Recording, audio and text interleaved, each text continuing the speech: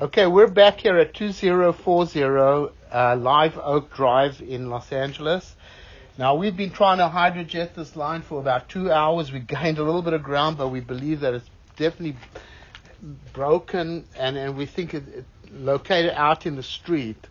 So, put the camera in, Rigobert. We're out here. We're just going to run the camera through to you. The pipe is in very poor condition anyway.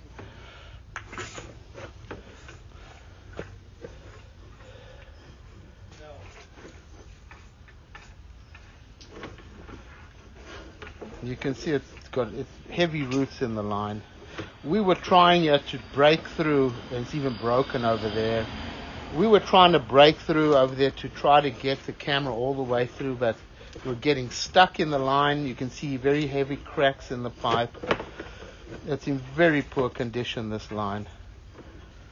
And we weren't able to, we pretty much got it just about right up to the curb. The jetter went through, but we felt something very heavy at the saddle. So there's no, this sewer line is in very poor condition.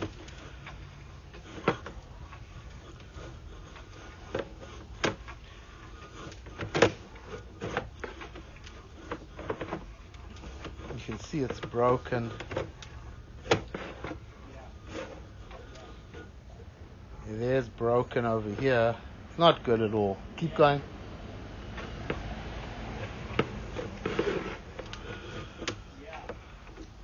This is where it turns, and that's where we were the first time that we were out here. And then we get past that spot, but you can see, oh, look, help, pull back a little bit. Come back a little bit. Oh, you see it's broken right, okay. Keep going, Rigoberto, go. Try to jump over there. No. No, pull back and throw it. Okay, hang on. Let me pause the record.